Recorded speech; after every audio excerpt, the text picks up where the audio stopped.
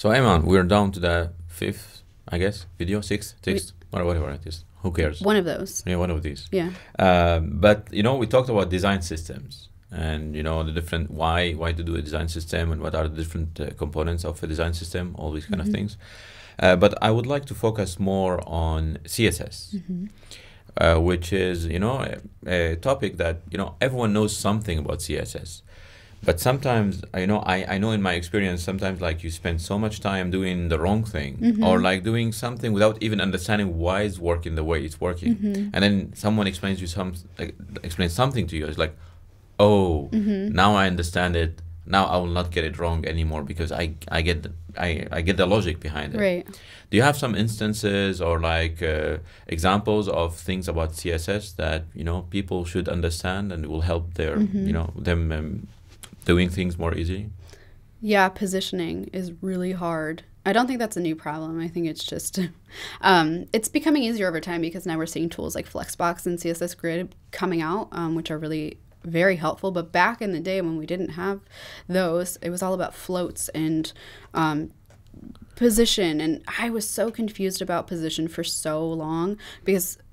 So I'll explain this as, as simply as I can. Um, so we'll start with position relative, which is um, basically it's saying I have a an element in the DOM in the um, in our HTML, and it has a width and a height. And if I set position relative and I say left 10 pixels, it's going to move it to the right relative to where it should be in the flow of our document, um, because our document is a hierarchy, and so it'll move that relative to where it should be in the natural flow. When we have things like position absolute and position fixed, this is where I got very confused um, because they're they're decently similar. So they both take an element out of its natural flow within the hierarchy. And so if I have, um, I don't know, a paragraph or let's just say a div and it's just a box, if I have that and I set position absolute or if I set position fixed, it's going to pretend like it's not there. The, when it renders all the other elements on the page, it's going to render them as if that div was not there. So it will take, it will take its, its place most uh, right. right. So so it'll render things um, in the spot that that would have naturally been rendered. It's basically taking it out completely, mm-hmm. and everything ignores it. The difference is position absolute is going to. And I believe they all start at zero zero, so the top left. I could be mistaken about that, um, but position absolute um, will scroll with the page. So like if I set um, position absolute and I say you know top zero, um, I don't know left fifty percent, it'll render at the top the top center, and as I scroll, it'll disappear. Position fixed will also render at the top center, but it will stay there uh, as you scroll. So that's really good for like sticky headers and things like right. that. This took me so long to figure out. And then what's really confusing is when we want to position an element absolute, but against its parent. Like this is super confusing. I still don't fully understand, but tooltips are a really great example. So if I have a tooltip and I want it to position it left of a help icon, you would set position absolute on this tooltip and you would have to set a position relative on its parent. Because if you don't set position relative on the parent, it's going to render it, you know, it's going to take it out of the complete flow of the document, like we just said, and it'll render it, I don't know, at zero, zero, or wherever it is. Um, so you have to have position relative on the parent to get it to stay within those bounds. It's very confusing. Maybe the uh, position relative is the confusing one. So basically, it serves two goals. You're mm. saying first itself if you you know you're you're drawing it relative, then it has some semantic. But also when you define it relative, then its uh, child elements will be positioned according to its position, right? So basically, you're yeah. saying that if you say absolute for its child, it will be absolute, but against the parent. Against the parent. Yeah, right? it's very confusing. It was very confusing. It took a very long time to figure out, and also specificity is something that we don't really teach. Like I feel like CSS is seen superficially as being very easy. And then you start trying to use it and you're like, this is really hard. Um, I love it personally, um, but I know a lot of people who don't. And I think that stems from a lack of understanding specificity because there's a hierarchy to how our styles are applied. Um, there's actually a mathematical equation to how our styles are applied. So there are several ways to select an element in the DOM or in your HTML when you want to apply style. The first is with an element selector. So I can select all paragraphs, for example and I'm not going to go into like pseudo selectors or, or any of that. Mm-hmm. Um, so element is the basic. And then we've got classes, which you can set a class on five different elements or one different element um, and apply the same style to each of those. And that's more specific um, because it's a smaller subset of elements. IDs are even more specific because you can only target one element. Um, and then important, which is terrible. Important and inline styles, I think, have the same weight when it comes to um, styling. And so we don't do inline styles. Well, we shouldn't do inline styles um, because having, you know, some CSS in your HTML is it can be really hard to tell like where your styles are coming from. Um, but using important to override all other styling is not a great practice, and it comes from a couple of things. I think one is um, when you use uh, UI frameworks like Bootstrap, mm. typically you have to override their styles, and that can be really hard. And so it might be even mandatory to use important to override some of that styling, which is um, not great. Um, but it also comes from a lack of understanding specificity rules. Um, yeah, I, I, know that like a lot, of, a lot of situations where I see someone struggling with styles and suddenly they, they crack. They, it's like mm-hmm. oh, let's let's use important here. Maybe it will solve that problem. So like, yeah. we can deliver because you have like but maybe in this kind of exactly in this kind of situation mm-hmm. you should resist using important maybe you should find the oh, actual absolutely. cause of your problem instead of yes, using important there. absolutely. Um, and i think so basically each of these specific styles so we have like element styles um, we have class selectors id selectors and important. And the, i think those are the four main categories. And each accrues a different point value. So if i have uh, a div with an id um, it's more specific uh, than just targeting all divs. And so um, i wrote a blog post on it but there are a ton of even specificity calculators, you can go and plug in your, your CSS selectors and it'll tell you how specific it is. Um, oh, nice. Yeah. yeah. And I think they even have like Star Wars themed like cheat sheets, which is awesome. You should go look at it. Um, I would highly recommend learning those. Cool. So uh, getting back to positioning and, and relative positions and all these kind of things, um, I think now, I think that was more of a story in the past because yes. now you get grids and, yeah. and Flexbox. Yeah. You might have not to touch to these uh, so many times, mm-hmm. so like so often as, as often as, as we used to, right? Right. Yeah. Yeah. Can can you maybe give us like some kind of a little introduction on, yeah. on grids and and Flexbox? Mm-hmm. So back in the day, we had to position things with tables, which was horrible. Uh, tables and floats, and I tables are problematic for many reasons. One of which is accessibility that we already touched on. Um, and so when Flexbox came out, Flexbox I think came out prior to Grid, I could be mistaken, um, and that's meant for one-dimensional layouts. So this is really good if you have a navigation with like five nav items, and you want them all to be spaced evenly, and maybe you want it vertically, maybe you you know want it um, horizontally across the top. Wait, wait, you went straight to this. Okay. Let's let's let's sure. start talk a bit about floats. I love floats. I don't know anything about floats because I don't use them. Not right. That's but one of those things that like I specifically did not try to learn because I was like I just doesn't matter works. anymore. Never works. Yeah, it never works. Right? Yeah. But it's mo- mostly for when you have you, you want to have two elements side by side. Often yeah. we, do, we use floats for that. Right, like right? a paragraph around an image. Yeah. Yeah. The, the, typical case of in a website. Right, but it never worked when I expected it to, so I just gave up. Yeah, it's it's very uh, and you, sometimes you need even to start putting percentage and stuff and like yeah. it gets really hairy there. Mm-hmm. So down to you said Flexbox, you have some come uh, navbar, and then you have elements, and that mm-hmm. Flexbox is great for that. Mm-hmm. Other things that Flexbox is, is good for? Basically, anything one dimensional. Um, whether that's so, like, let's take I don't know, recommended friends on a social media app. Like you would typically have like cards with people's like photo and their name, um, and you want to space them out evenly and just keep wrapping them around until there are no more. That's something Flexbox is really great at because it's simply a vertical layout.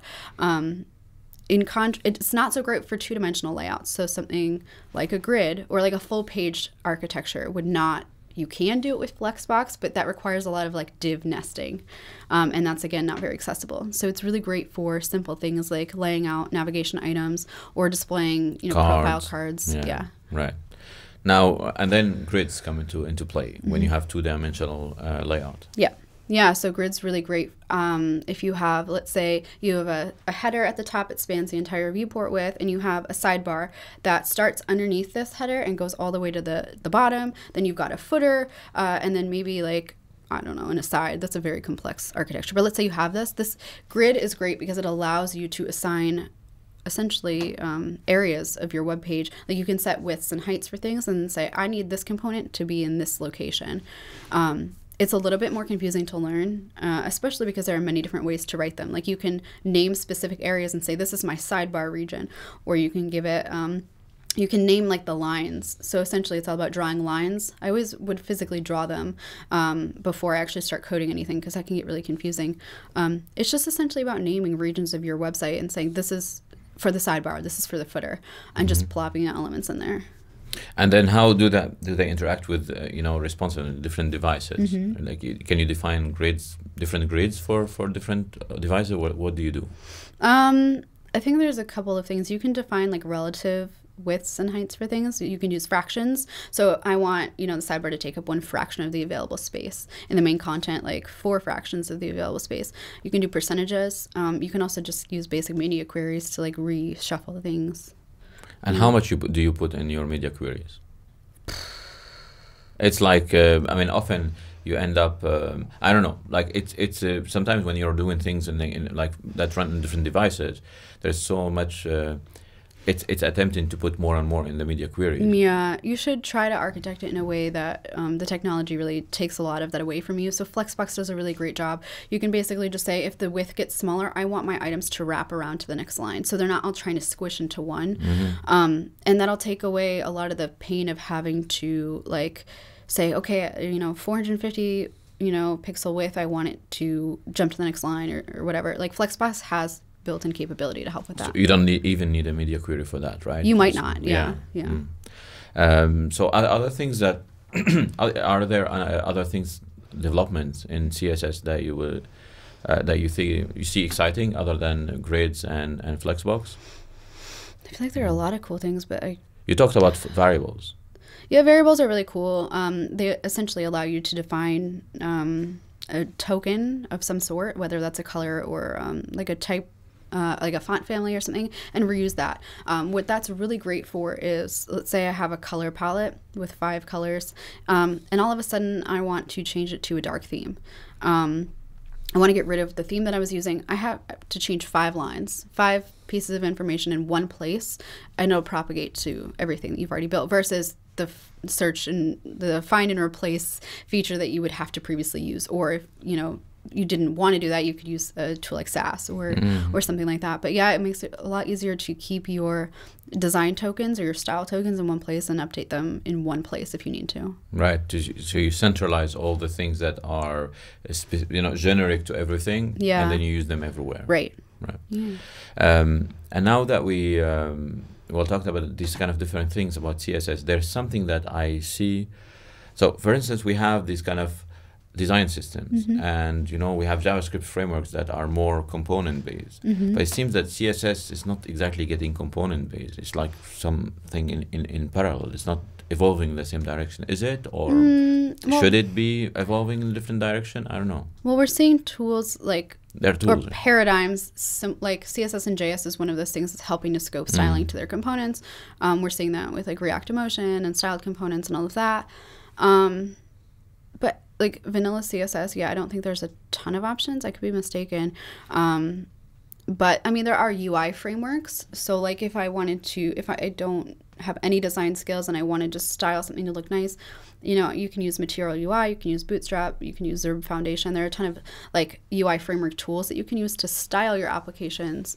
Um, but yeah i think it's a it's a different evolution than javascript. Right. Is it maybe like maybe the one thing that maybe I don't know, some people argue that will will help is having more scoping of styles. Mostly all Mm. the tooling are, is trying to do that, right? Is like how how can we get styles more scope Mm-hmm. Yeah, absolutely. I think scoping is always a good thing, but I also think it's a symptom of not understanding specificity. If you understand specificity and, and you have a naming convention or a naming architecture, whether that's like SMACSS or BEM or whatever you're using, um, you shouldn't have any like leaking out into your global styles. Um, so I, I do think it can solve a lot of problems but if it's simply like a, a band-aid over you know a larger wound which is not understanding how styling works um, i would recommend going back and learning that as well And yeah, this gets to the first video we talked about. Like sometimes you have this kind, this kind of uh, something that you you don't fully understand, and you kind of try always to work around Yeah. it. But maybe sometimes it's like better to say, let get let's Yes. understand this, let's get it right, and then we, yeah i think at the point where you start spending more time trying to figure out why something's not working at that point you need to say okay i'm going to pause and go back and learn this the skill or the tool i should have learned um, but it, until that point i had no reason to Yeah. Right. Yeah, I I, I understand. Um, I had one one other other thing about um, well CSS why I seem not to be uh, remembering. Can can you talk while I'm trying to uh, to remember? Oh my gosh. No, you I'm can't. good at this. There's a reason I'm not like an improv Yeah, I- I- comedy artist. No, I was I was joking. So Tailwind, did you did you try it? I have not, but I it's on my like bucket list of things to try because I'm I started an open source project um, and that was the first thing that they wanted to use was Tailwind. I'm like, okay, go go for it. But when you manage a project, uh, you don't exactly get to develop, which is a trade off. Um, so that like my open source project, I can understand, but I don't contribute to it. So Tailwind is one of those things that we've been using that I've been wanting to learn, and I never learned it. I I have only heard good things though. Yeah, yeah. th- it seems to be cool. This kind of um, building a toolkit of, Yeah. of, of then using. I mean, when you look at it, it's it's it's awful. You see, like, what the hell is going on? Like a Mm. lot of these names uh, in the, in the you know on the uh, the CSS class, right. but it makes a lot of sense. Like, And I'm pretty sure so it's un- unopinionated about styling, if I'm not mistaken. I, I guess so. So I think that means it gives you a lot of capabilities that you can use um, to build custom components without being a bootstrap where you would look at it and be like, oh, that's a bootstrap Mhm. application. Yeah, yeah. It's, Yeah. it's more uh, it's more basic and it, it gives you like that flexibility you're talking about. Yeah. So Mm-hmm. Yeah. this is something that you, you need to try. Like, uh, Absolutely. Yeah, I've been meaning to. cool. Well, thank you very much. Yeah, thank you.